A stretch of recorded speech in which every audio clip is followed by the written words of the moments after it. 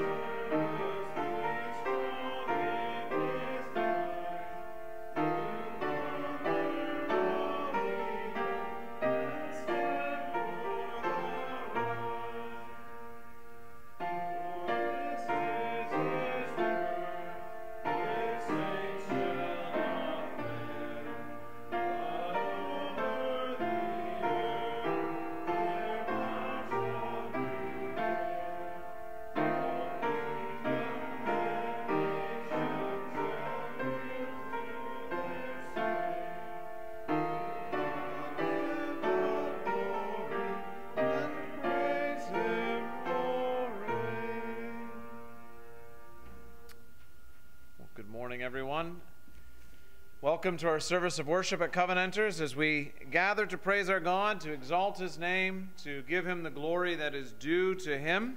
He commands us to come and worship him, and as his people, it is our should be our great delight to come and to praise his name and to meet with him here in worship. Special welcome if you're visiting with us this morning. It's good to have you worshiping with us. And uh, we pray that we, are, we would be a blessing to you and that you would be blessed, especially by the reading and the preaching of God's holy word. After the service, I, I want to emphasize this. I think we've, you know, we know we've been following various regulations as we gather for worship. Just, uh, I want to perhaps emphasize something I haven't emphasized as, as much is to, after the service, to let's really try to move outside. I'll try to lead better by example.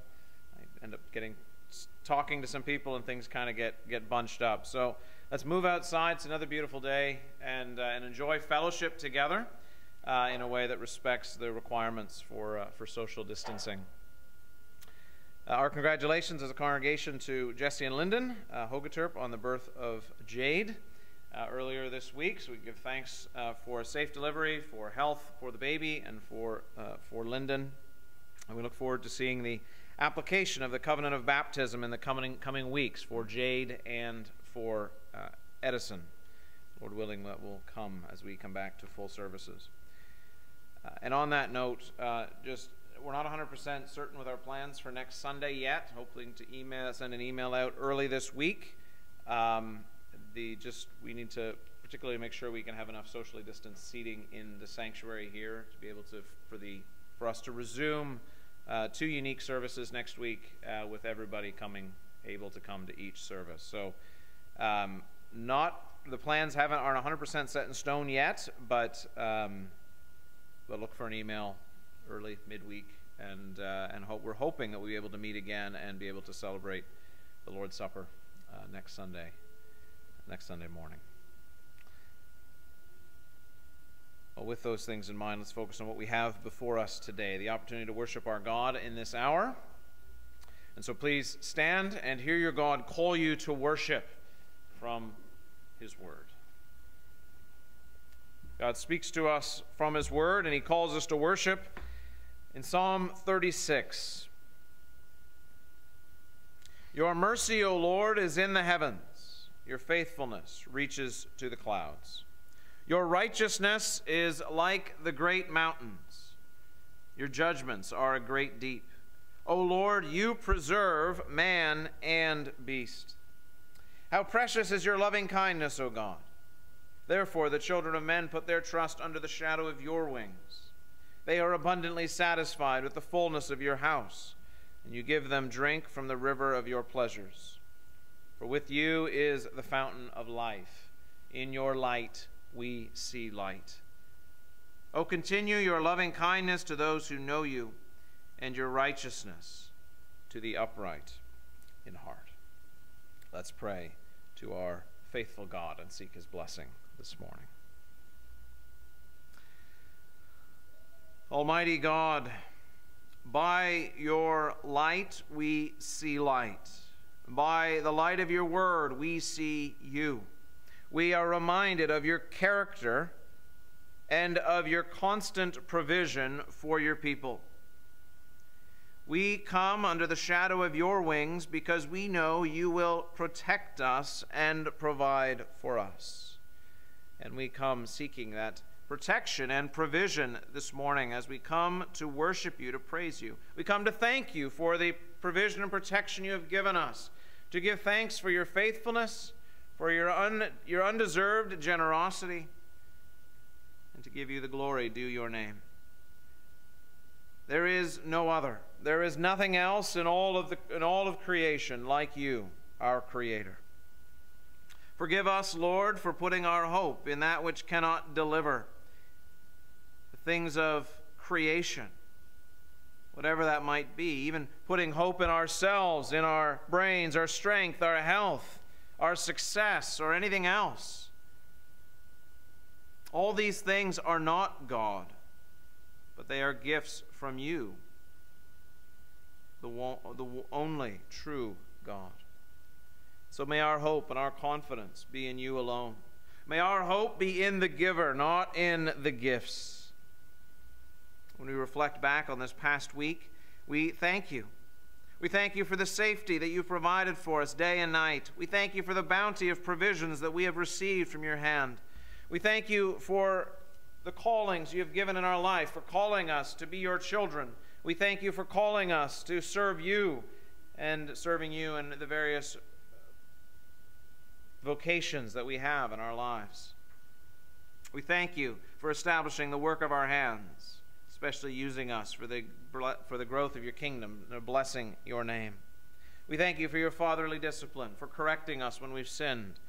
And we thank you for forgiveness in Christ knowing that it is He who has earned your favor for us. We thank you for calling us again this Sunday to worship you. We thank you for the day, and we thank you for this hour of worship. And we pray through, we, we pray to you, and we come to you through Jesus Christ. We thank you for bringing us here. We thank you for, for all who are able to come this morning and all who plan to come this afternoon. We thank you for all who are able to join us online. We pray that you would continue to bring us back week after week after week to praise your name and to hear you speak to us through your word. We pray for wisdom for the coming weeks as we make further changes and seek to expand how many can meet. And we pray that, that you would give us the wisdom and help us to, to be able to do it well. We pray, Lord, as well for a further putting away of this virus and, and Lord, a, a, uh, a lessening of the restrictions that we're under. Lord, we thank you for the congregation and for, uh, we pray for the specific needs of the congregation. We pray for the Freemans who are traveling back from Maine. We pray for safety for them. And we thank you for their time in Maine with Jim's mom and dad. And we thank you for the successful surgery. At least as everything seems to have been successful from this past week, the successful cancer surgery. We pray that further tests would, would, would prove that to be true. Bring them, bring Jim and Amy and their children here safely, and bless them as they have to enter into two weeks of self-isolation. And we pray you'd provide for their home and help us to be a blessing to them. We thank you for the birth of little Jade, and we thank you for your answers to prayer for Jesse and Lyndon and this little girl. We do pray for your blessing for physical healing and strength uh, for Lyndon and Jade, and we pray, Lord, especially for the spiritual well being of this household. We thank you that you are a God who enters into covenant with households. We thank you for your faithfulness uh, through all the way, Lord, as we, we see covenant with the covenant with Abraham to him and his household carrying through. That this promise is, as Peter said, to us and to our children, the promise of hope in Christ and the, the gospel promise. So we pray for this household, for Jesse as he leads his home, and for Lyndon and for Jade. And we pray for this girl that she will grow up professing faith in Jesus Christ and living her life for him. We give thanks to you for Thomas and for his birthday this week, and we pray for a blessing on his life. Continue to provide for him and encourage him week by week, year by year. You know the, the, the particular struggles that he has, and we pray, Lord, that your, we know your grace is sufficient for him as it is for each one of your children. Be near to him. Lord, and we finally we pray for Bonnie. We thank you, Lord, for her as, as she's visited with us and worshiped with us several times, and, and uh, we've gotten to know her as she's moving this week uh, up to Spring the Springhill area. We pray that you would go with her, that you would bless her, that she would know your presence there. We pray uh, that uh, that the friendships she's established here would continue, and that she, we would enjoy and be able to worship with her again as she comes back to visit. We pray for a blessing on her studies that she anticipates in the fall, and for her future. May you be uh, her guide, her light and be near to her through, through Christ and by your Spirit. Lord, we thank you for the comfort of your word. We thank you that we can turn to your word and, and how you speak to us. And so we pray, speak, Lord, to us now. Speak to our hearts as we open your word, as we hear particularly this word of comfort from, from a very familiar verse in Romans 8. We pray, Lord, that you would comfort your people. And we pray that those who do not yet know you would come to faith in Christ and then know all these this this promise and all the promises of uh, of God that are yes and amen in Jesus Christ our Lord. So as we turn to your word, bless us we pray. Speak to us in Jesus name. Amen. Please be seated.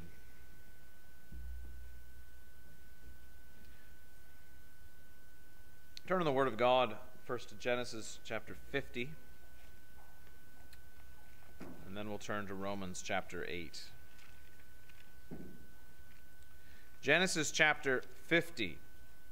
Of course, these are this is coming at the, the very end of Genesis, at the very end of the story of Joseph and, uh, and his brothers who treated him terribly, sold him into slavery, and, and then uh, came face to face with with Joseph, who was now the, the second most powerful man in Egypt. And we see through all of this the Lord's hand. These are, these are verse 20 in particular uh, is a very famous verse um, of how the Lord works, even through that which doesn't appear to have any redeeming value, that which doesn't appear to be good. The Lord works and turns it for good. And perhaps in the Old Testament, anyway, the um, perhaps the, the clearest example of how the Lord of the Lord doing this, of overturning evil to turn it to good that we have. So let's let's read. We're just going to read verses 14 to 22.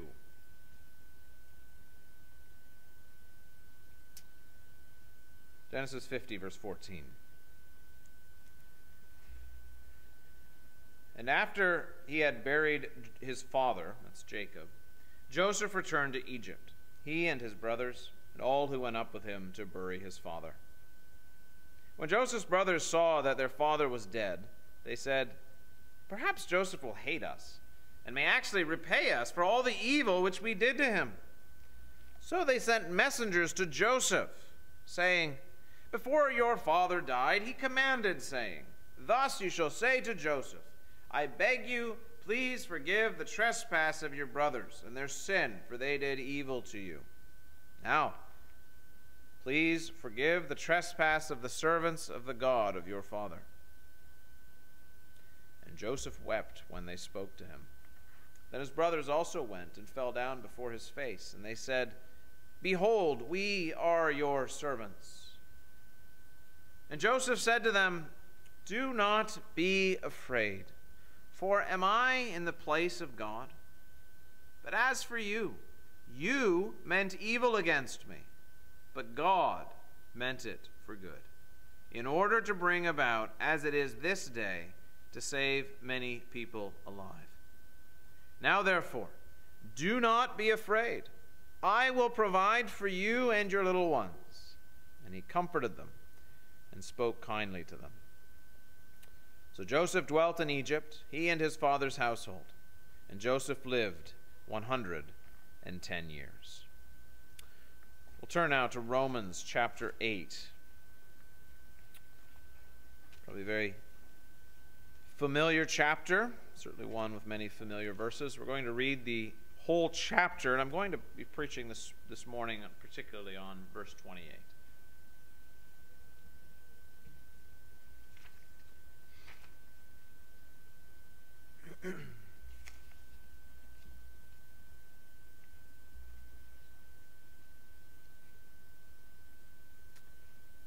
Romans chapter 8. There is, therefore, now no, now no condemnation to those who are in Christ Jesus, who do not walk according to the flesh, but according to the Spirit. For the law of the Spirit of life in Christ Jesus has made me free from the law of sin and death. For what the law could not do, in that it was weak through the flesh, God did by sending his own Son in the likeness of sinful flesh on account of sin. He condemned sin in the flesh, that the righteous requirement of the law might be fulfilled in us who do not walk according to the flesh, but according to the Spirit. For those who live according to the flesh set their minds on the things of the flesh, but those who live according to the Spirit, the things of the Spirit. For to be carnally minded is death, but to be spiritually minded is life and peace. Because the carnal mind is enmity against God, for it is not subject to the law of God, nor indeed can be. So then, those who are in the flesh cannot please God. But if you are not in the flesh, but in the Spirit, if indeed the Spirit of God dwells, dwells in you. Now, if anyone does not have the Spirit of Christ, he is not his. And if Christ is in you, the body is dead because of sin, but the Spirit is life because of righteousness. But if the Spirit of him who raised Jesus from the dead dwells in you, he who raised Christ from the dead will also give life to your mortal bodies through his Spirit who dwells in you. Therefore, brethren, we are debtors, not to the flesh to live according to the flesh. For if you live according to the flesh, you will die. But if by the Spirit you put to death the deeds of the body, you will live. For as many as are led by the Spirit of God, these are sons of God. For you did not receive the spirit of bondage again to fear, but you received the spirit of adoption, by whom we cry out, Abba, Father. The Spirit Himself bears witness with our spirit that we are children of God. And if children, then heirs heirs of God, and joint heirs with Christ, if indeed we suffer with him, we may also be glorified together. For I consider that the sufferings of this present time are not worthy to be compared with the glory which shall be revealed in us. For the earnest expectation of the creation eagerly waits for the revealing of the sons of God. For the creation was subjected to futility, not willingly, but because of him who subjected it in hope. Because the creation itself also will be delivered from the bondage of corruption into the glorious liberty of the children of God. For we know that the whole creation groans and labors with birth pangs together until now. Not only that, but we also who have the first fruits of the Spirit, even we ourselves groan within ourselves, eagerly waiting for the adoption the redemption of our body. For we were saved in this hope. But hope that is seen is not hope, for why does one still hope for what he sees? But if we hope for what we do not see, we eagerly wait for it with perseverance. Likewise, the Spirit also helps in our weaknesses. For we do not know what we should pray for as we ought, but the Spirit Himself makes intercession for us with groanings which cannot be uttered. Now, He who searches the hearts knows what the mind of the Spirit is, because He makes intercession for the saints according to the will of God. And we know that all things work together for good to those who love God, to those who are the called according to His purpose.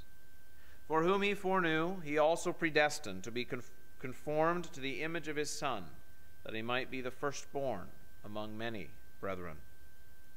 Moreover, whom he predestined, these he also called. Whom he called, these he also justified. And whom he justified, these he also glorified. What then shall we say to these things? If God is for us, who can be against us? He who did not spare his own son, but delivered him up for us all, how shall he not with him also freely give us all things? Who shall bring a charge against God's elect? It is God who justifies. Who is he who condemns?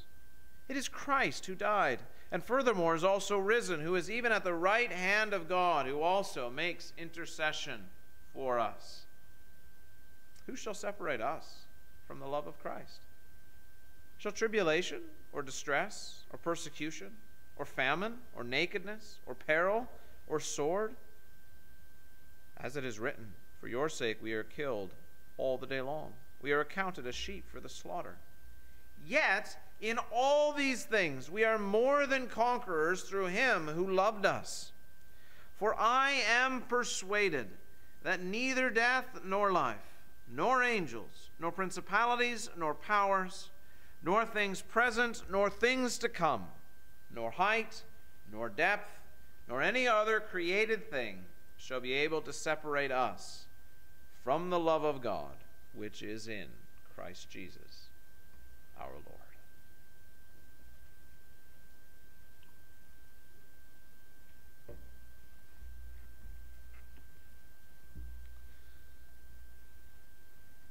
Yesterday, I had the, the privilege of officiating at the wedding uh, for John and Rochelle Garrett's. And it was a, it was a joy to be part of that wedding, to see these two believers in Jesus Christ joined together in the covenant of marriage, joined together in that estate of marriage that God has given for the good of mankind since the creation of the world.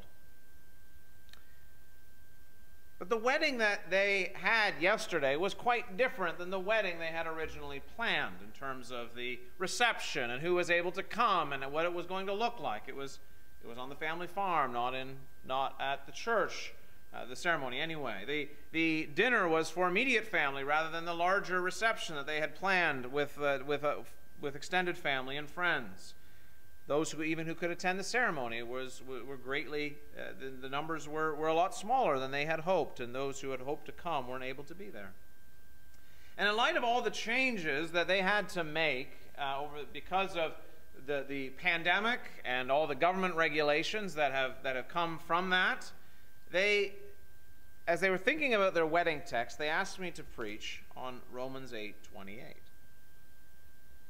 now certainly a verse like this where we have the promise of God that all things work together for good, is a verse that's very applicable for, for their particular situation, for the, the, the particular situation of, of their wedding plans and everything that was leading up to this day. And obviously had application far beyond that, for something to take with them, a promise to hold to as they walk through their married life together. But isn't it true that this verse speaks to our hearts as well? Verse 28 contains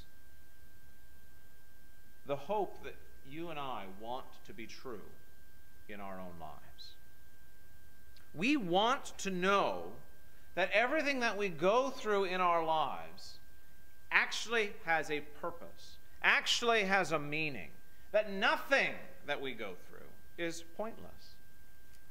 Now, when you go through difficult times in your life and you, you deal with suffering or trials, there you often will hear well-intended statements from those who love you, who care for you, and who want you to be encouraged for what you're going through. And you hear statements like, well, it, it'll all work out in the end. Or it's, it's all for the best. Or even, you know, what doesn't kill you makes you stronger. And these are well intended, and they're, they're meant to encourage you and to give you hope. But How much hope do these words actually contain?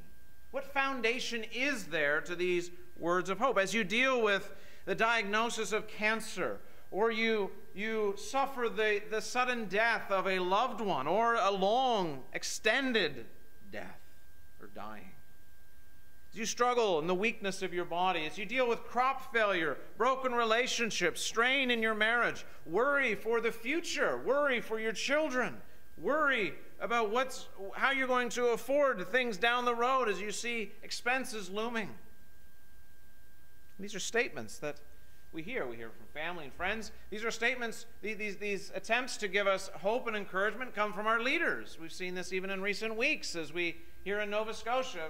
We, have heard statements like that when people are dying from COVID 19 or when we have uh, nearly two dozen people killed in a mass murder. We're going to get through this. There's a better day ahead. We're going to be stronger as a province because of this. And perhaps you and I have even used these phrases, not knowing what else to say to someone who's suffering. And these are phrases that sound somewhat, they kind of sound good. And we say them.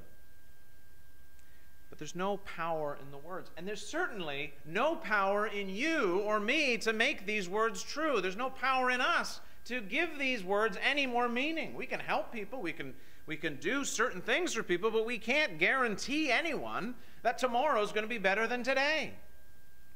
We don't have that kind of power.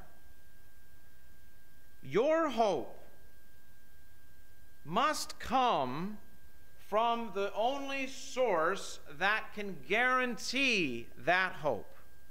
And there is only one who could make a promise like the promise we find in Romans 8:28 and guarantee its outcome.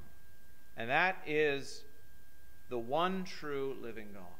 The one who is all powerful. He is sovereign over the atoms. As R.C. Sproul likes to say, there is not a there is not one maverick molecule in all the universe. God is sovereign over all. And that sovereign God is the one who made this promise in verse 28.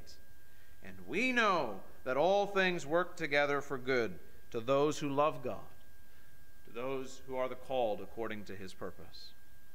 This should bring great comfort for you in Jesus Christ.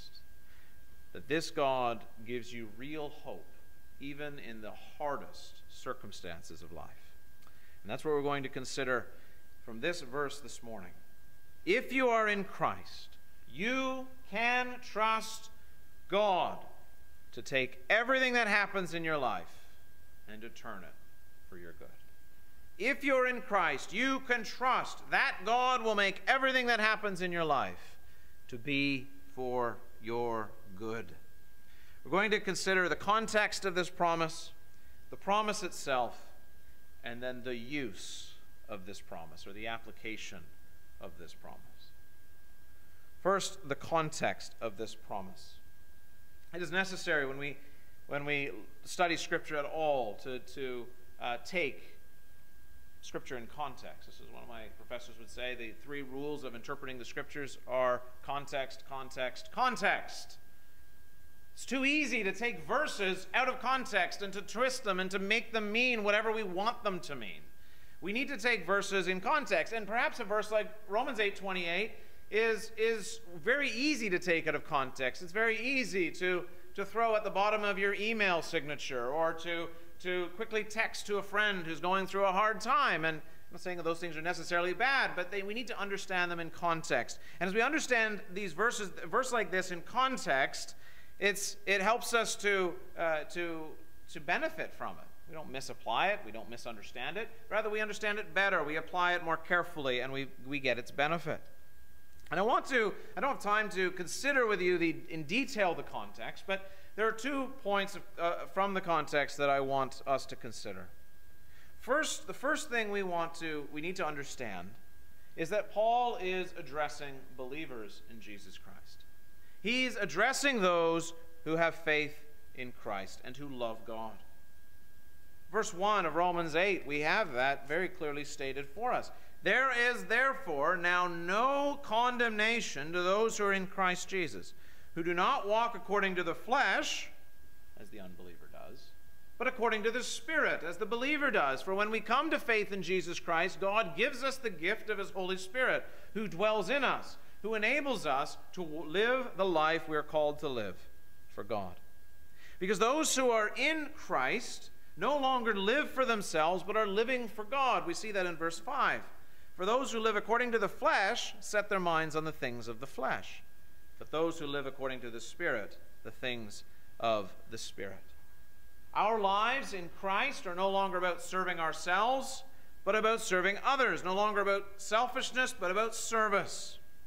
And contrary to what the world around us wants to believe and wants us to believe, that life lived for God by the power of His Spirit is, is true life and brings true peace. Whereas the life lived for the flesh, the life lived to serve ourselves, is the life that leads to death. It's no life at all. Verse 6 For to be carnally minded, that is, to be fleshly minded, is death, but to be spiritually minded is life and peace. And this helps us understand verse 28 better already because it reminds us that our lives are no longer our own but our God's are, and we in Christ are to be living for Him. And we know that His plan is better than our plan for us. That His plan is the best plan. He is looking out for us. And as we're spiritually minded, we're seeking for our life to be lived, to be given over to God for whatever His plan is for us that would bring glory to Him. And then we have the reality that as believers in Jesus Christ, we are given, this spirit is called the spirit of adoption. That we are made, not we, we are servants of God, but more tenderly than that, we are made children of God. We who are bought with the price of Christ's blood, and having that, that applied to us by the Spirit, are made children of God. We can call him Father. And we are made joint heirs with our elder brother, Jesus Christ. We become heirs of the grace of salvation because we are united to Christ that way. This is the glory of adoption, that we are children of God. We can look to our, look to our Heavenly Father. Even as our children look to us for help, for care, they trust us. We can trust God, the perfect Father. And the Spirit testifies to us. He, he witnesses with our spirit that we are children of God. God is our Father, we are His children, and to the children of God come the promises of God and the guarantee that He will always keep His word because He loves us. And with His love, He has made these promises. So, Paul is first of all addressing believers. But secondly, in the context, Paul is addressing the present suffering of believers in Jesus Christ. The Christian life includes, as we see in verse 18, the sufferings of this present time. Suffering is, I heard one, one preacher put it this week, is embedded in the life of the Christian. We suffer. We, in our suffering, are identified with Christ. We suffer with Him, even as we will be glorified with Him. We suffer because we live in a fallen, broken world. We suffer because Satan rages against the church. He rages against Christ and against Christ's people. And we suffer because of the consequences of our own sin when we choose a path that is not it is that is not in and of itself good. We suffer because of the consequences of our own sin. Paul is addressing, he's, he's seeking to address that reality that if we're in Christ, if we are children of God, why then do we still suffer? and what is there to be done about it. And he from verse 18 on, he, he gives these he gives three encouragements, three comforts for the believer who is suffering. First, in verse 18, he says that these sufferings are temporary. For I consider that the sufferings of this present time are not worthy to be compared with the glory which shall be revealed in us. It's not that we will receive glory exactly to meet our suffering, blow for blow, but that the glory that we will experience with Christ will far surpass anything we have ever suffered and we will ever suffer in this life. It's the first encouragement.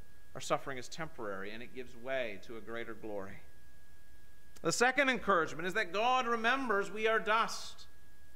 Psalm 103 tells us that He pities us. God pities us. As a father pities his children, so the Lord pities his, his, his children. And He gives us His Holy Spirit. Verse 26 The Spirit also helps in our weaknesses, and especially in the weakness of prayer. When we are suffering and we don't know why, we also often we don't know how to pray. And it's the Spirit of God who, who helps us, who equips us to pray. The Spirit of God who prays alongside us, praying for us. For He knows the will of God, and He prays for us according to the will of God. So we have sufferings are temporary. We have the Spirit of God who helps us in our weakness, and then we come to our verse for this morning. Verse 28, the third comfort that nothing that happens to us in our life, nothing suffered, is without purpose or without meaning, but it is all part of God's plan for good, for your good.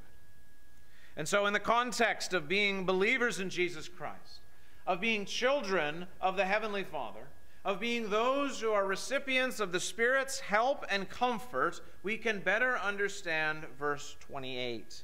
And so I want now to zoom in on the promise itself, this particular promise of comfort in verse 28. Paul begins verse 28 with a, a, a self evident statement. Verse 28 begins, and we know. This is a fact. What verse 28 explains is a fact. The believer can have confidence in God about the truth of this verse. Not confidence that this will be true sometime in the future, but that it is true for us even now. And what can we have confidence in? What does Paul say we know?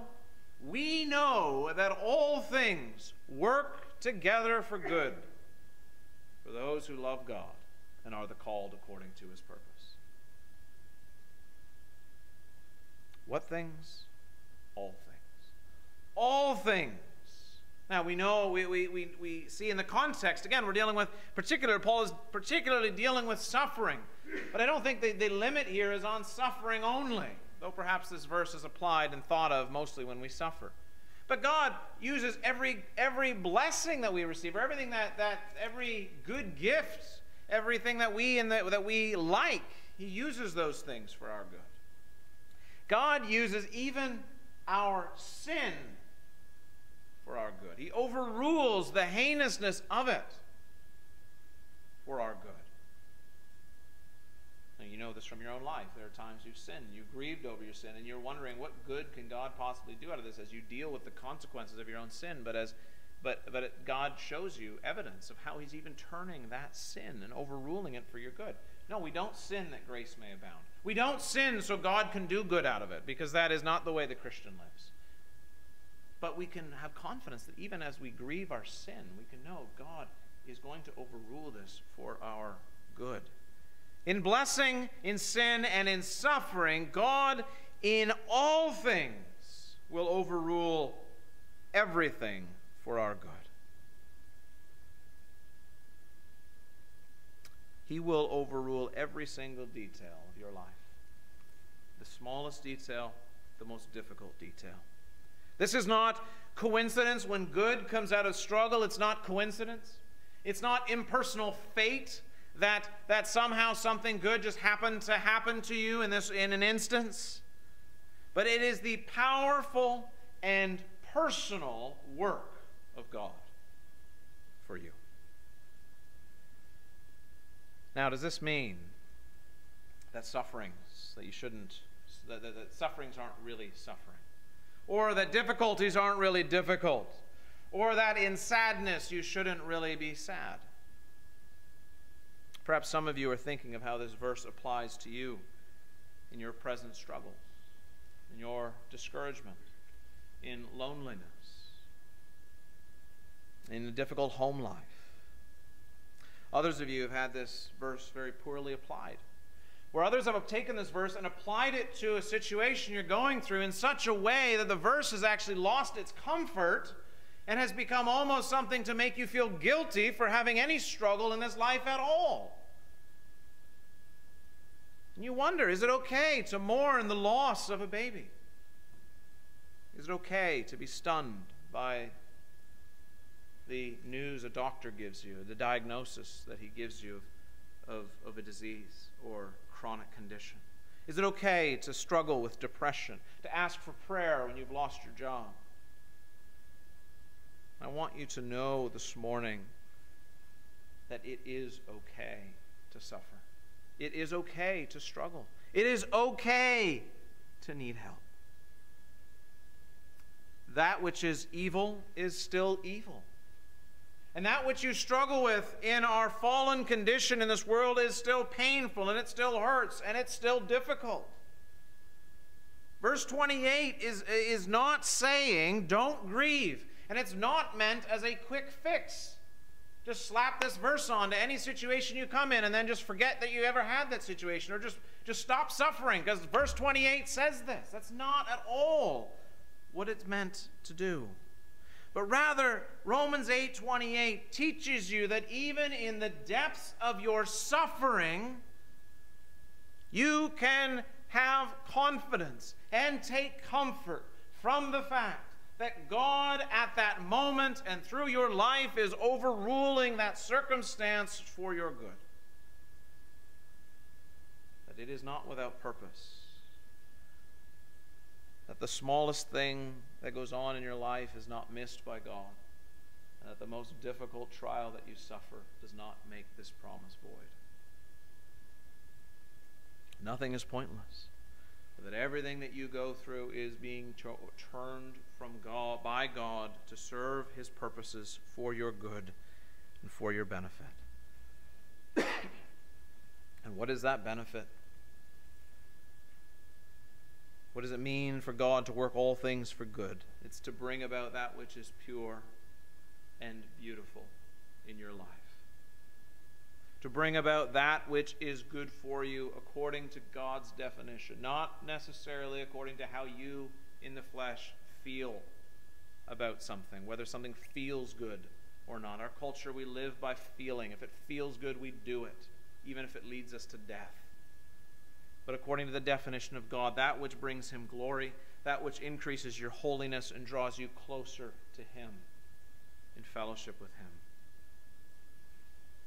That which he knows is good for you, because his plan is better than your plan. His ways are higher than your ways. That which is a benefit to your godliness, that which increases the peace that you have as you serve him, that which enables you every day to die to sin and to live under righteousness and that which we see in verse 29, that which enables us to be conformed to the image of his Son, that he, that is, that Jesus Christ, might be the firstborn among many brethren, that which brings glory to the Son.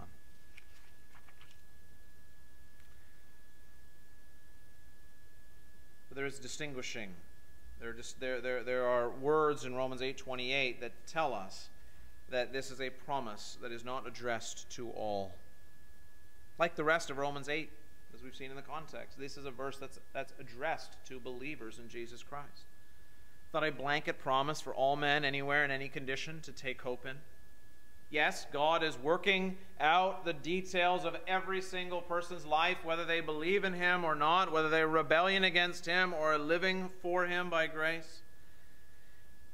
But the hope of, the, of verse 28 is a hope for believers. We know that all things work together for good to those who, to those who love God, to those who are called according to his purpose. There are two marks that Paul says.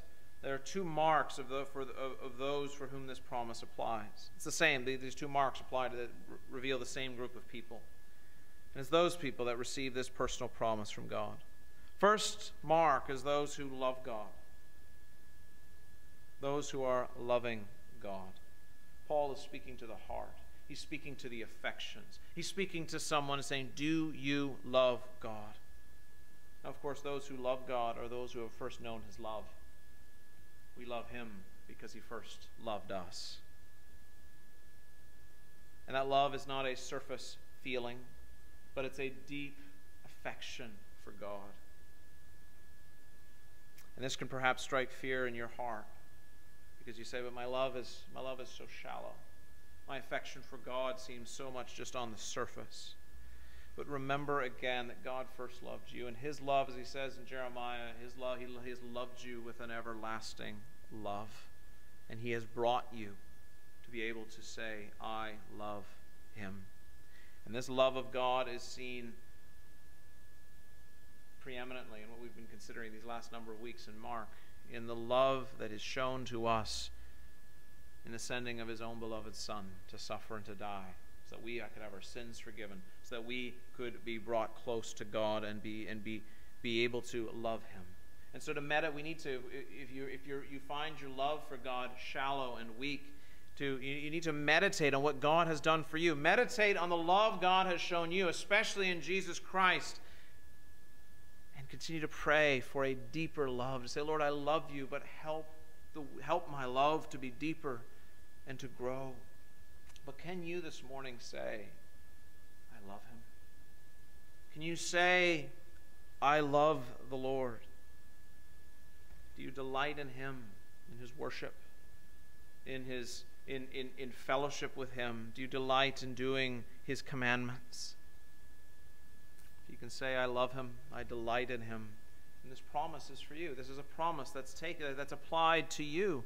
Paul is Paul wants is probing the heart but this is a promise for those who love God.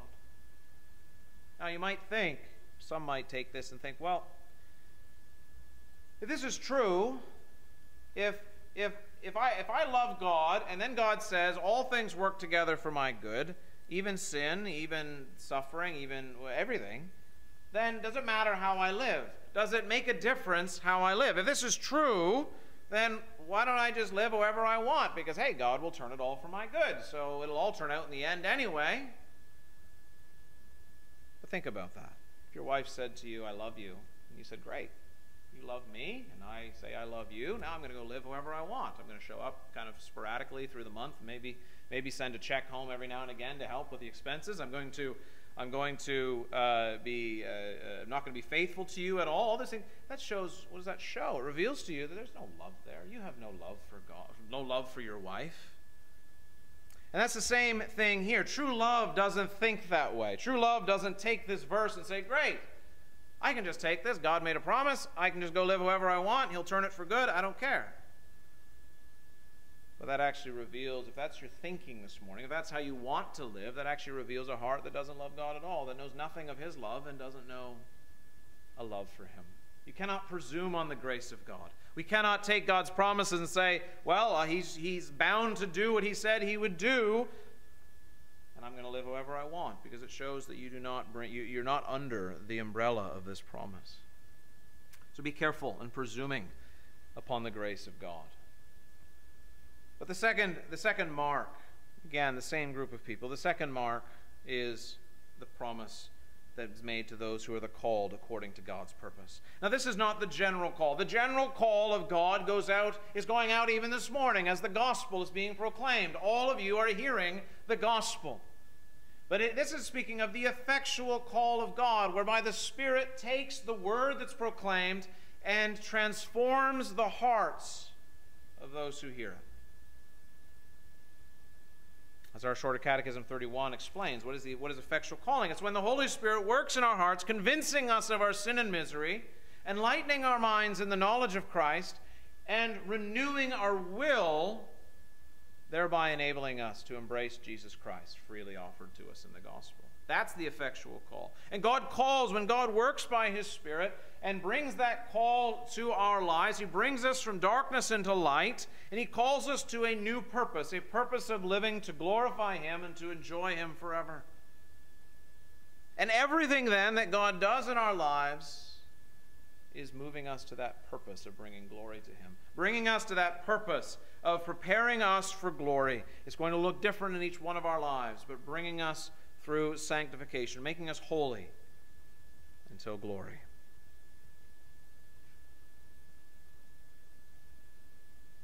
That's what it is to be the called according to God's purpose. We, that these promises are given to those who love God and are the called according to his purpose. And if you are here this morning or listening online and, and you don't know a love for God,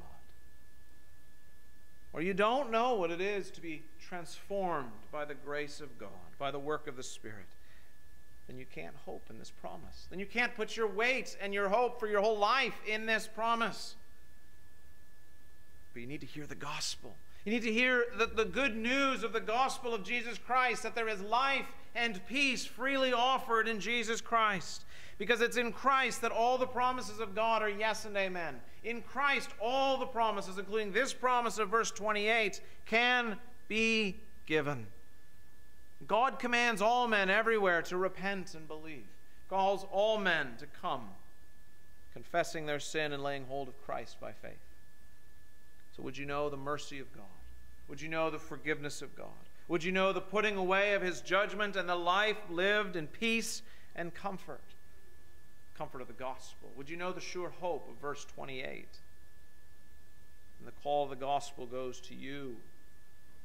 Come to God through Jesus Christ. Where else can you go? Who else is going to give you the promises that God gives you? Who else can guarantee the blessings of life forevermore that God promises? May the Holy Spirit, as you hear this call, it stir your heart, enlightening your minds in the knowledge of Christ, convincing us of your sin and misery. May He renew your will and bring you to lay hold of Christ as He is offered to you even this morning. If you're in Christ, you can trust that God will make everything that happens in your life to be for your good. We've considered the context, we've considered the promise, and now let's consider the use of the promise, the application of it. This is a promise that's personally addressed. This is a promise that's, that's one you, as a believer in Christ, one who loves God and is called according to his purpose, can take and apply to your life. What difference should it, should it make in your life knowing that God works all things for your good? What, what should it matter to you that the sovereign, powerful God is working out every detail of your life? Well, this is a promise and a guarantee that should be at the center of your life. Because not the smallest detail of your life is outside of the purview of this promise. You can think of anything that's going on in your life right now. Anything things that no one else knows, that you alone know, that, that, that, that that's going on in your heart. All of it. You know the circumstances that perhaps make you question the truth of this verse. Your marriage that's gone cold, the relationships with your children that are broken or strained, your broken body, your broken mind, loneliness, worries for the future, when you look at the, the, the, our society around us and you see the collapsing of Western civilization. When you look at the church broadly and you see the church persecuted, you see the rage of Satan against the church. When you look at the local church, even here and over the years, seeing the church growing at times and shrinking at other times and wondering, what's the Lord doing? Why? Why is this happening? When we see the, the, the, the pandemic, the COVID 19 pandemic that's, that's throughout the world, but yet its ripple effects have very much affected us here, in your individual lives and families, and, and as the church, you can be tempted perhaps to doubt this verse. Waiting to say, you know, I'm going to see before I believe. I'm going to wait and see if God is true to his word, and then I'll believe on him. But this is a verse that God comes and He declares to us to be true. We take it by faith. because God is God and, and He has made this promise. But God is also gracious to show us the evidence of His fulfillment of this promise. We see it in Scripture. We read it this morning in Genesis 50, didn't we?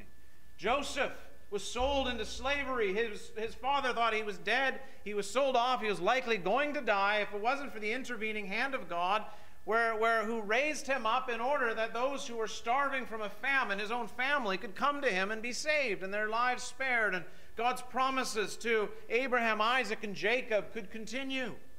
And where he himself says in Genesis 50 that what you, looking at his brothers, what you intended for evil against me, God intended for good. God overturned it. But then think of the gospel of Jesus Christ. Think of the Son of God hanging on the cross. As I said last week, that was the worst day in human history when the Son of God was murdered on the cross. And yet, at the same time, it was the greatest day in human history because God overruled the evil intentions of men to bring about the greatest good we will ever know life and peace with God through Jesus Christ. God overruled what was intended for evil. Was it still evil? Yes, it was still evil. Did Joseph still suffer? Yes, Joseph still suffered. I think we can skip over this sometimes. Like, well, it turned out for good, so he didn't really suffer. No, he suffered. But God overruled it still for good. And we can see this. We can see this through church history. It is a, a commonly repeated statement that it is the blood of the martyrs that served as that watered the seeds of the gospel, and God used those who faithfully suffered and died for the name of Christ to raise up another generation of those who believed in Jesus Christ. What men intended for evil. What say, say, when Satan raged against the church, God turned it for good. And these are things you know in your own life, as God graciously has revealed to you some of the purposes behind what has gone on in your own life. As He has shown you why certain things have taken place in your life. As He has shown how He is working through a certain event or circumstance. As He shows how He is growing you in the faith through these times.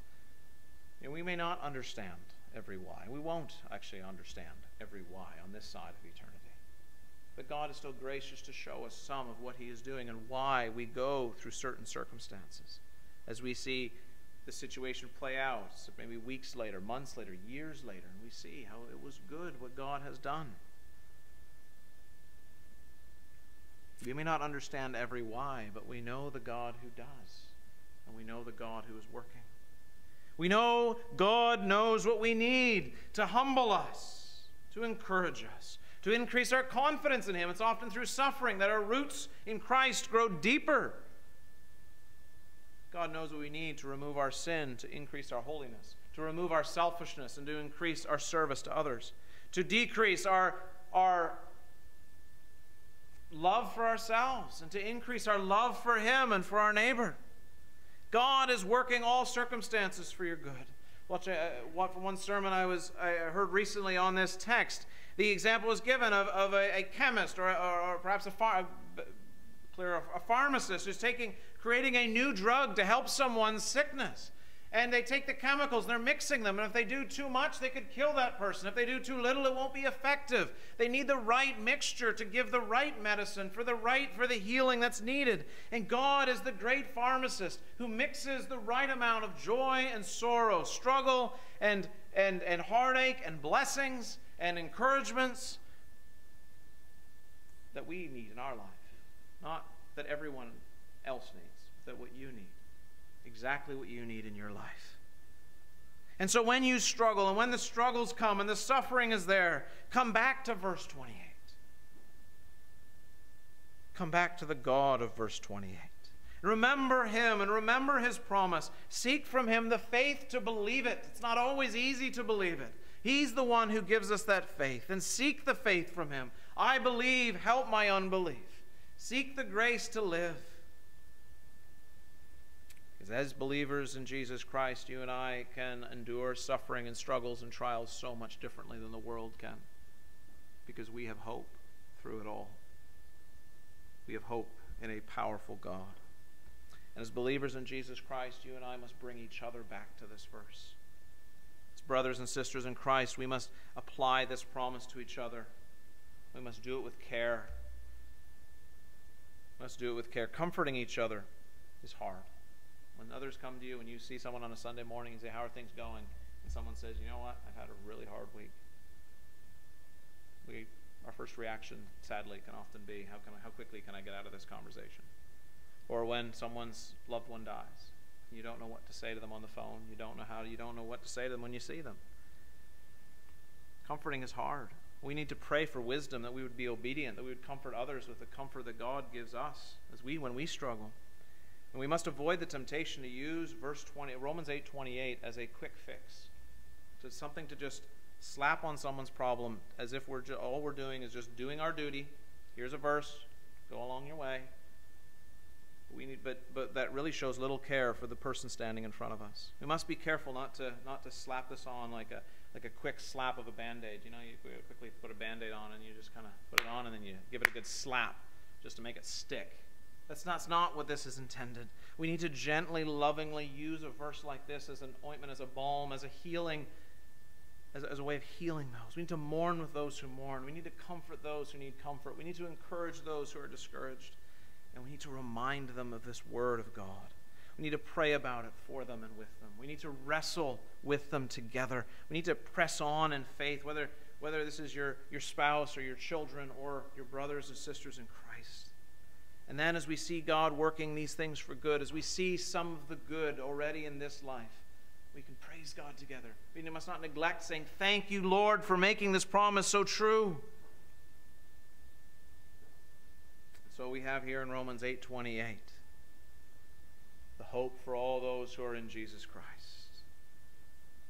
Hope for you in Christ, dear brothers and sisters, for all that you've gone through, all that you're going through, and all that you will go through. If you are in Christ, you can trust that God will make everything that happens in your life to be for your good. Your life is like a tapestry, a woven piece of art all sorts of, of dark and light threads to make a beautiful piece of art. But if someone was walking through a marketplace where these were being sold and they all they saw was the back of these tapestries, they would see only a bunch of a mess of strings, all a big jumbled mess. It would there would be no value in it.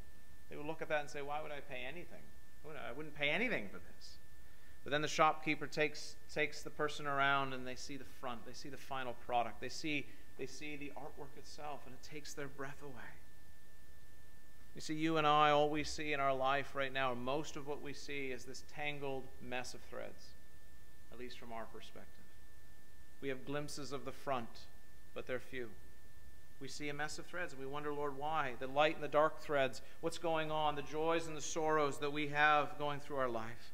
But one day, brothers and sisters, that tapestry will be completed, and you will enter into glory, and God will show you the completed work. He will show you what He has been doing through your entire life, and when you see what He has done for you, it will take your breath away. And you will not want to move one thread. You will not want to take one out. You will not want to move one to a different time in your life. But you will see the perfect work that He has done in your life for you. You will see that His work is beautiful you will see that his work is good. And you will see that God has indeed worked out all things for the good of those that love him and are the called according to his purpose. So, this is a truth that you and I must remember and must apply as we walk in God's plan, even now. Praise God for the promise and for its application. And then in eternity, we will praise him the Father, the Son, and the Holy Spirit for the great work they have done to finish that tapestry. Your gracious and powerful God will turn all things for your good.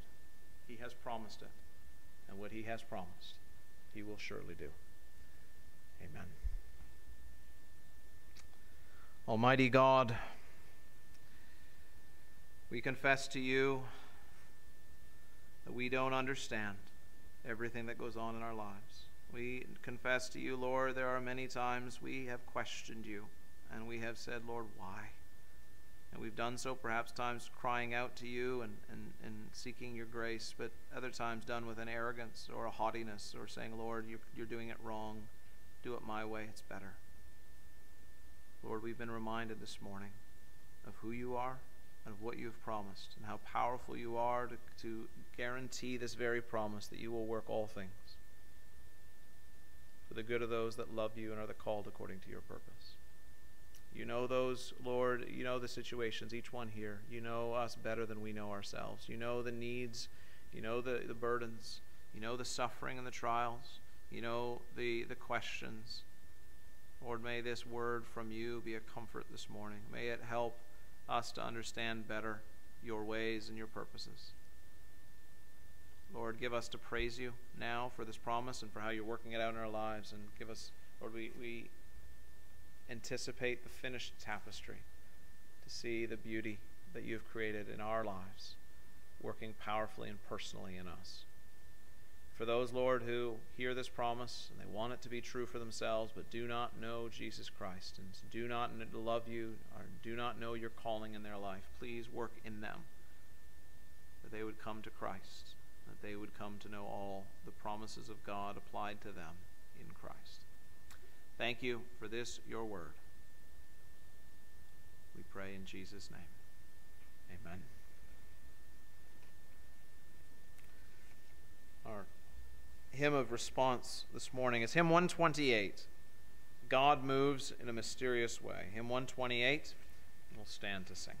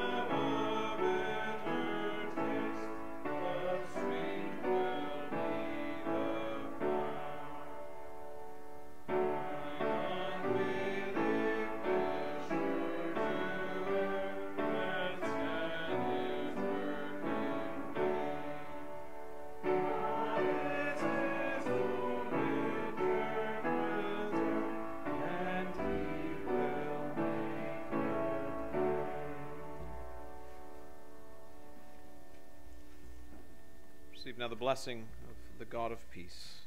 Now may the Lord of peace himself give you peace always and every way. The Lord be with you all. The grace of our Lord Jesus Christ be with you all.